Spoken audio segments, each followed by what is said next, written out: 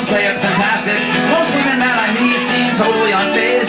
So sometimes there's somebody who seems totally amazed. I might not be in magazines as a heartthrob face, but in a few devoted hearts I found a strong fan base. I'm a cult boyfriend, I'm lonely worshipped by a lady in the know. When you're a cult boyfriend, life is always intense. They love me or they hate me, no one's on the fence. Cerebus is a cult comic book series. It's got fans, but it's never found in movies or in theories. WFMU is a cult American radio station, always tuned to by a few devoted fans around the nation. For every time I couldn't get a second date or even first, why does one think I'm the best when all the rest think I'm the worst? For all of that time, no one at all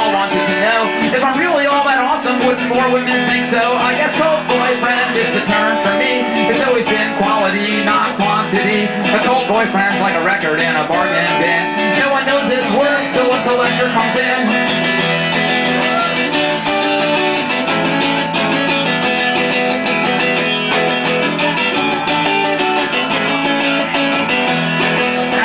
Some cult literary names I can honor. Maybe J.G. Ballard or Flannery O'Connor. Haggis and Fugu, that's like food for cult eaters.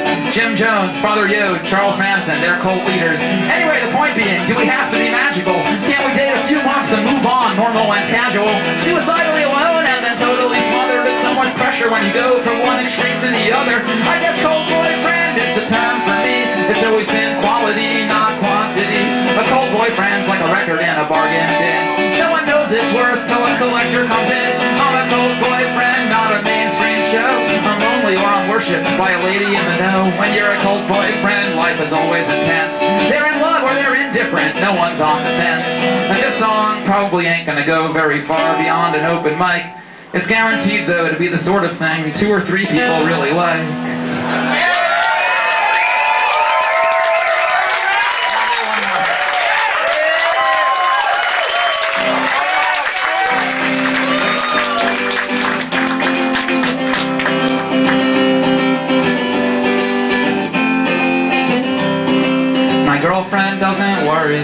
About the things that always trouble me.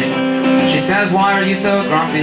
Let's just both sit here quiet and calmly. And you probably should be thinking first about how glad you'll be if you do some work and about our relationship. My girlfriend doesn't worry about the vision Mao Zedong had for China. Was agrarian reform for the better? Or is cynicism part of our culture? Why did people fight and die for their freedom? Was utopia a lie as a concept? Is the Western model really our future? Is there nothing any better to work towards? And is progress only science in action? Does it truly have a moral dimension? Was the century a dream before failure? Have we settled for this present existence? Was it only necessary for peasants?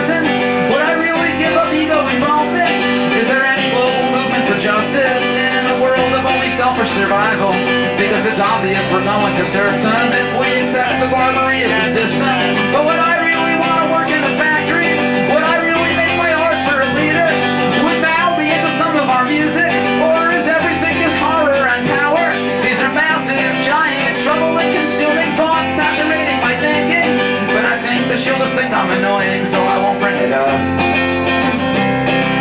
says that doesn't make any sense. You should just think about your art and your friends and about our relationship. My girlfriend doesn't question the psychology of Charles Manson. What does it say about the human condition? Why are people so receptive to listen? Why is confidence alone such a magnet? And it's unfair the way that some people have it. And they seem to do the things that they want to. We all just get away with all that we can do. That has any value. in all society just falls by the wayside. Into the hierarchy of cults and of harems. And it's genetics to be masters of victims. And does hedonism go with corruption?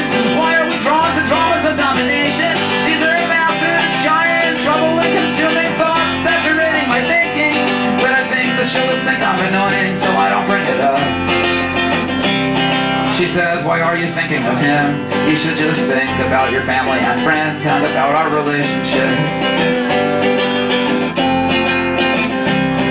My girlfriend doesn't wonder while driving about the emptiness of human existence. How can we make any decision if it's only arbitrary opinions? And why should anyone have a baby? Create another brain of dissatisfaction. If we're only biological robots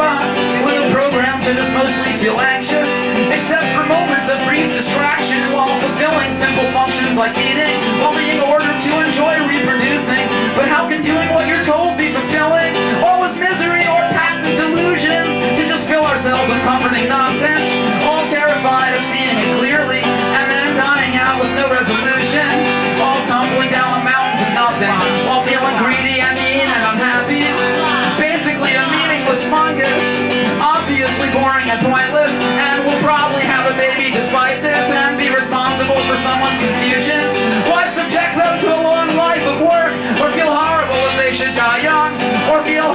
if we die and leave them? The only happiness is if something's funny, but what does funniness even mean? These are massive, giant, troubling burdens weighing on my thinking. But I think that she'll just think I'm annoying and I don't want to lose her. She says, why are you talking so much? How come you never talk about us? Let's just think quiet and nice thoughts and about our relationship.